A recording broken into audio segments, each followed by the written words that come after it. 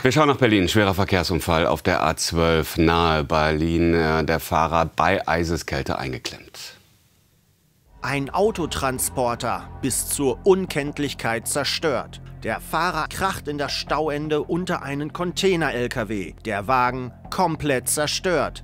Der Fahrer im Fahrerhaus eingeklemmt. Die Einsatzkräfte benötigen Stunden, um den eingeklemmten Fahrer zu befreien. Selbst mit Seilzügen kann er nicht befreit werden. Auch ein Mobilkran kommt zum Einsatz. Die Situation für den Eingeklemmten lebensbedrohlich, besonders wegen der eisigen Kälte. So jetzt so um die äh, minus 6 bis 7 Grad haben.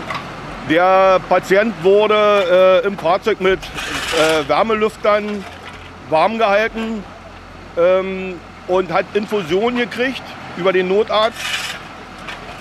Dann haben wir ähm, angefangen mit der technischen Rettung. Erst nach über vier Stunden kann der Fahrer aus dem Transporter rausgeschnitten und befreit werden. Er wird schwer verletzt in ein Krankenhaus gebracht. Die Autobahn war viele Stunden gesperrt. Die Autofahrer mussten bei eisigen Temperaturen in der Vollsperrung ausharren. Der Katastrophenschutz rückte an, um die Menschen im Stau zu versorgen.